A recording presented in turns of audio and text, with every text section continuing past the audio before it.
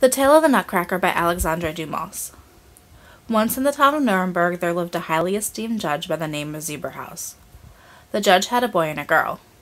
They were two lovely children, but so different in face and character that no one would ever have believed them to be brother and sister.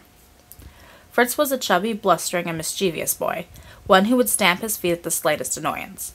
He was convinced that the world was created for his entertainment and stuck to his guns until the judge, intolerant of his cries and tears, emerged from his office. Raising the forefinger of his right hand, the judge merely said, Herr Fritz! The boy was then taken with an enormous desire to sink into the ground. As for the mother, needless to say, no matter how high she lifted her finger, Fritz totally ignored her. His sister Marie, by contrast, was a frail and pallid child, with long curly hair falling on her shoulders, like a sheaf of movable and radiant gold. Marie was modest, gentle, affable, and merciful towards all sufferings, even those of dolls. She obeyed the slightest signal of her mother and never talked back. As a result, Marie was adored by everyone. December of 24th had arrived, the day of gift giving in Germany. Nuremberg is a city famous for its toys. It sends loads of these wondrous things all over the world, so that the children of Nuremberg must be the happiest on earth. I don't need to tell you that among the favorite children, those receiving the most toys, were the children of Judge Zeberhaus. For aside from their parents, who adored them, they also had a godfather by the name of Drosselmeyer, who also adored them. On that blessed Christmas Eve, twilight was beginning to settle in. All day long, Fritz and Marie were barred from entering the grand salon. When they were allowed to enter for the first time, they were given to a moment of ecstasy. They halted with eyes gaping and mouths gawking. The Christmas tree seemed to emerge from a large table that was fully laden with the best treats. The entire scene was shining with a hundred lights hidden in the foliage, which rendered it dazzling. Fritz danced about the room, and Marie didn't even try to hold back tears of joy. Things became worse when the two children saw the table piled high with all kinds of toys. Marie found a charming doll which she named Claire, and Fritz was gifted a whole squadron of soldiers. Marie discovered a new toy leaning mournfully against the trunk of the Christmas tree, a mannequin clad in an outstanding wardrobe, which revealed him to be a man of both taste and culture. The more Marie studied his face, the more goodness and sweetness she discerned in his features. After considering him with growing affection for over ten minutes, she exclaimed without daring to touch him, Oh, good father, that dear mannequin over there, leaning against the tree, whom does he belong to? To no one in particular, the judge replied. His job will be to break all the nuts you eat. He belongs to Fritz as much as to you. The judge then picked up the mannequin and opened the mouth to expose two rows of sharp teeth. At her father's bidding, Marie then put in a hazelnut and crack! The mannequin crushed the nut so skillfully that the shell shattered into a thousand pieces, and the unbroken kernel remained in Marie's hand. The little girl now realized that the stylish mannequin was a descendant of an ancient and venerated breed of nutcrackers, whose origins had been lost in the mists of time. Marie, delighted to have made this discovery, started jumping for joy. Wherein the judge said to her, Well, my good little Marie, since you like the nutcracker so much, then, though he belongs equally to Fritz and to you, you will be put especially in charge of caring for him. I therefore place him under your protection. With these words, the judge returned the mannequin to Marie, who took him into her arms and began carrying him to task. Now, this captivating child had such a good heart that she selected the smallest nuts so that he wouldn't have to open his mouth immeasurably. However, while continuing to train his soldiers, Fritz had heard crack, crack, crack, and after that sound was repeated twenty times, he realized something new was going on. He raised his eyes and observed the mannequin. He hurried over to Marie. Fritz now demanded his share of the nuts cracked by the mannequin, and his request was granted. He also demanded the right to crack them himself since he had half ownership.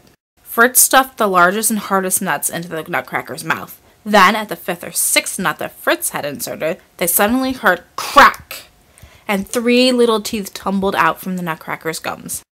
Oh, my poor dear Nutcracker! exclaimed Marie, snatching the mannequin from Fritz's hands. What a moron! cried Fritz. He wants to be a Nutcracker, but he's got a glass jaw. He's a phony Nutcracker. He doesn't understand his own profession.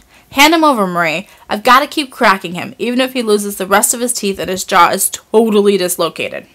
No, cried Marie, squeezing the mannequin in her arms. You won't hurt my poor nutcracker any more. Look, he's watching me so horribly, showing me his poor injured jaw. Goodness, you have a nasty heart. Because of their shouting, they were approached by the judge, the mother, and the godfather. The two children explained their reasons the girl for keeping the nutcracker, the boy for getting him back. To her amazement, Godfather Drosselmeyer, with a smirk that looked ferocious to the little girl, sided with Fritz.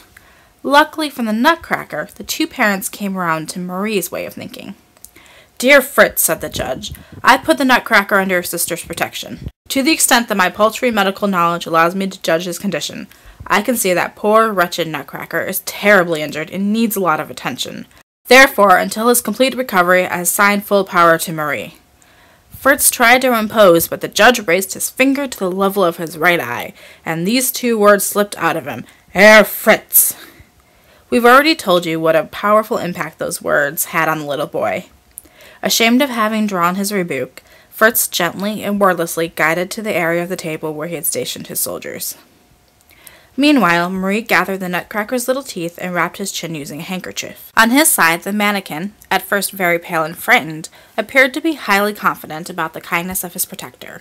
Little by little, he grew more and more reassured, feeling very tenderly cradled. Evening had been advancing. It was almost midnight, and Drosselmeyer had long since taken his leave. The parents were unable to tear the children away from their toys. Contrary to his habit, though, it was Fritz who first surrendered to their reasoning. Actually, said Fritz, upon getting drilled all evening, my poor miserable soldiers must be dog tired. I know them. They are brave soldiers who are fully aware of their duty towards me. Since, as long as I am here, not a single man will permit himself to close his eyes, I am going to retire right away. And Fritz did indeed retire. Marie, however, stayed awake. Eager to join the judge, who had already gone to their bedchamber, the mother urged the girl to tear herself away from her dear charge. Just one more instant, said Marie. Let me finish my business here. I still have a lot of important things to take care of. Once I'm done, I promise I'll go to bed. The voice of this well behaved and obedient child was so insistent that her mother saw nothing wrong in fulfilling her desire. The mother retired in her turn, saying, Go to bed soon, my dear little Marie. If you stay up too late, you'll be exhausted, and you might not get up tomorrow.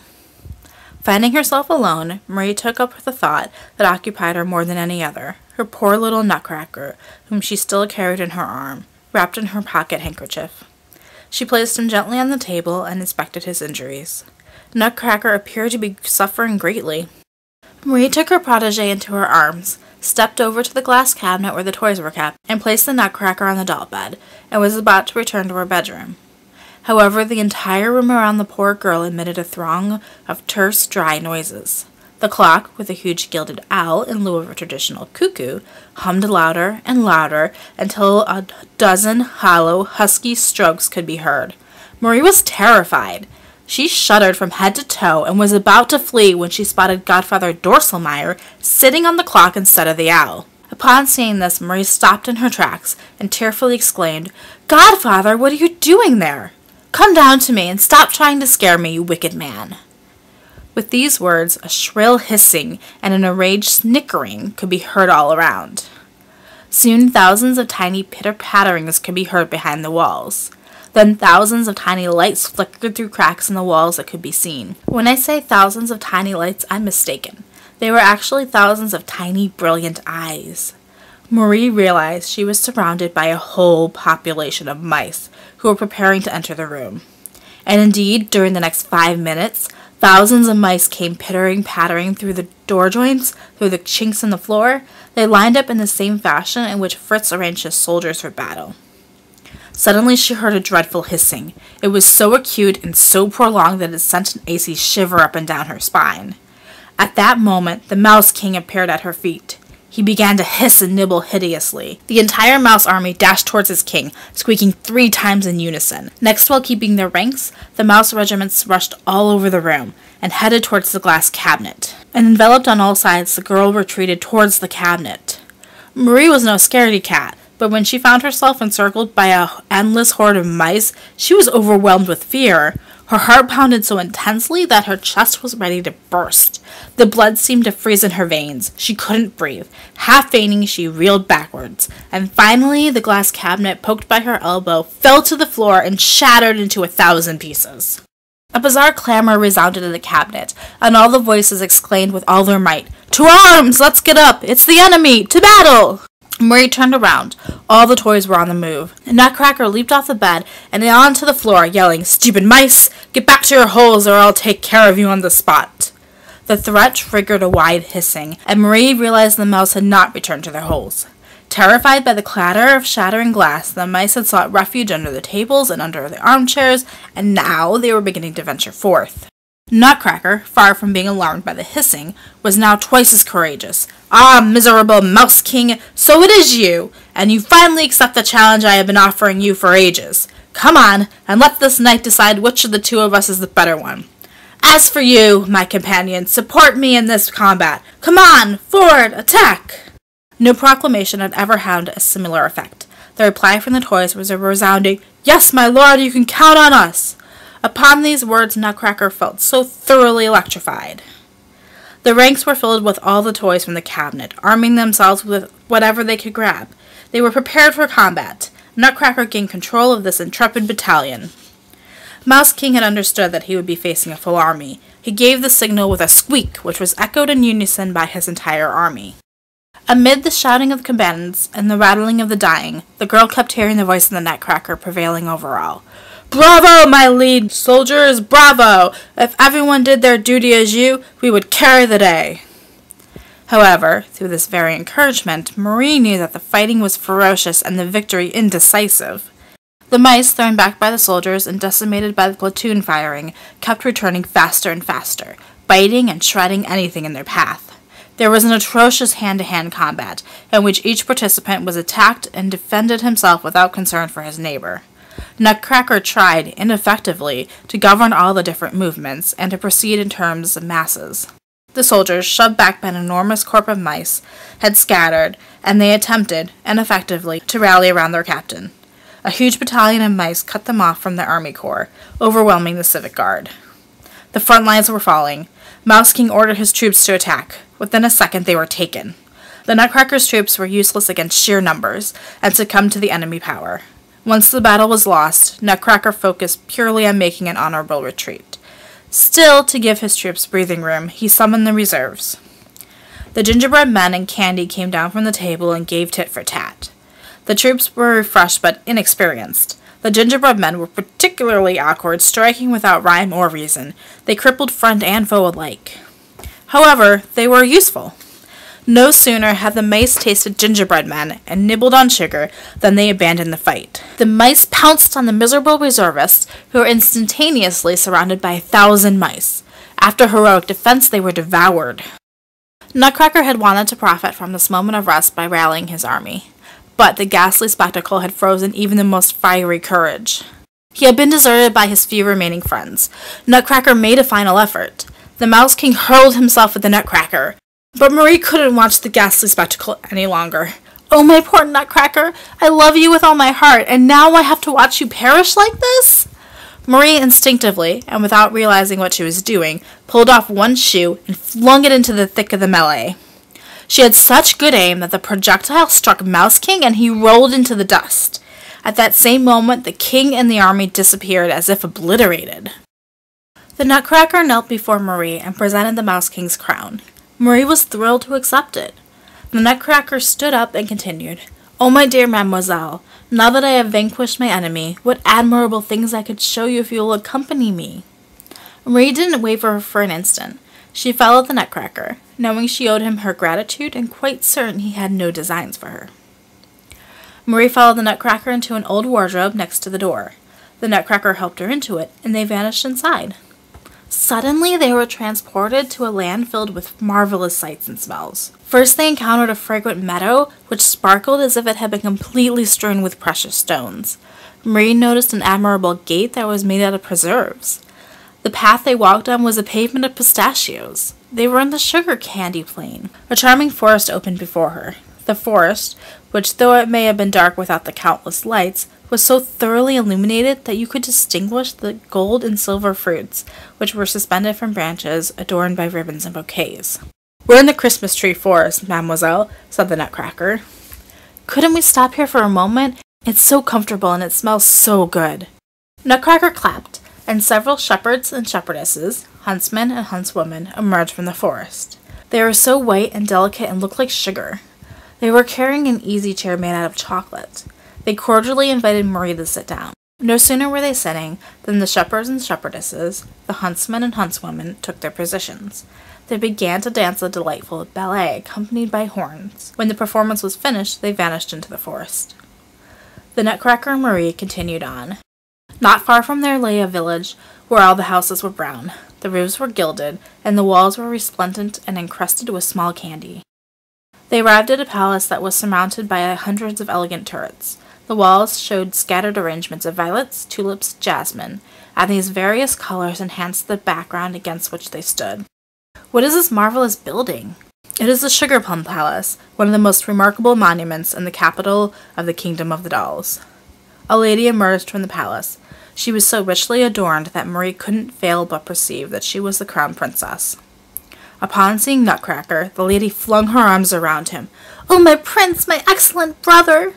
Nutcracker sounded deeply moved as he dried tears of joy that were gushing from his eyes. Taking Marie's hand, he introduced her to the princess. My dear sister, may I introduce Fräulein Marie Zebrahaus? She saved my life just as I lost the battle. She flung her slipper at the Mouse King. Had she not done that, I would be laying in a grave. The princess threw her arms around Marie. The Nutcracker started to describe all his adventures in detail. However, during his account, Marie was struck by something bizarre. Soon she was enveloped in a strange mist that changed into a silvery gauze, which grew thicker and thicker until it shielded the sight of the Nutcracker and Princess. Marie woke up and found herself in bed. It was broad daylight, and her mother was at her side saying, Is it possible to be as lazy as you? Come on, let's get up. Breakfast is waiting for us. Oh, sweet mother, said Marie. Where did the Nutcracker take me last night, and what admirable things did he show me? Marie recounted everything that we have just described. And when she was done, her mother said to her, You've had a very long and charming dream, dear Marie, but now you're awake. You've got to forget all that. Come and have breakfast. But Marie persisted in maintaining that it hadn't been a dream, that she really had seen all those things. Her mother then went to the cabinet, took the nutcracker, handed it to her daughter, and said, How can you imagine that this doll, which is composed of wood and cloth, can have life? The judge and Fritz were laughing their heads off at Marie's expense. The hilarity grew so loud that Marie realized she had to provide some evidence. She produced the crown of the Mouse King. Look, here is the Mouse King's crown which the Nutcracker gave me last night as a sign of his victory. The judge, quite amazed, scrutinized the crown. Fashioned out of an unknown and brilliant metal, the judge declared the crown to be so precious that he ignored Fritz's appeals to touch it. Her parents pressured Marie to tell them the origin of the crown, but she stuck to her account. Her father called her a liar and encouraged her to recant, threatening to throw out her dolls if she didn't give up her fantasy. Poor Marie no longer dared to talk about all the beautiful fancies that filled her imagination. One day, years later, when Marie was clearly older and had reached her teen because otherwise this ending is weird. So, one day, while Godfather Drosselmeyer was repairing a clock, Marie was staring at the nutcracker in the cabinet. She was so absorbed in her reveries that suddenly, forgetting that her godfather and mother were present, Marie accidentally cried out, Ah, dear Nutcracker, if you weren't made out of wood as my father claims, and if you really existed, I wouldn't desert you, for I truly love you. No sooner had Marie heaved a sigh than the room was filled with such a racket that the young woman fainted and fell to the floor. When she came to, she found herself in her mother's arms, and her mother said to her, How was it possible that you were foolish enough to fall out of your chair? at the very moment that Drosselmeyer's nephew has returned from his travels. Marie turned towards the door and saw a young man with her godfather. The young man wore finest clothes. He brought gifts of the most delicious candy Marie had ever tasted, and at the end of this meal, he delighted them by cracking nuts with his teeth. After dinner, he invited Marie to join him in passing the glass cabinet. The young man knelt down before her and spoke. Oh, my excellent mademoiselle, you see at your feet the happy nutcracker whose life you had saved at this very place. You have been good enough to tell me that you wouldn't reject me if I had turned hideous. Now the spell cast on me by the Mouse Queen was broken the moment you said you loved me, despite my hideous face. I have reverted to my original form. So, my dear Marie, if you still feel the same way about me, please do me the honor of giving me your hand, and sharing my throne and crown, for I have become a king again. You are a good and friendly ruler, your majesty, and you have a charming kingdom. I therefore accept you as my fiancé. He went over to her parents, and with a graceful bow, he asked for Marie's hand, and it was granted to him on the spot. One year later, Marie was married in the Sugar Plum Palace. To this day, Marie is still the queen of the gorgeous kingdom of all kinds of magnificent and miraculous things. This has been The Lego Nutcracker, adapted from The Tale of the Nutcracker by Alexandre Dumas, adapted by Jen Herchuk. This is a Chekherjoy production, December 2019. Merry Christmas!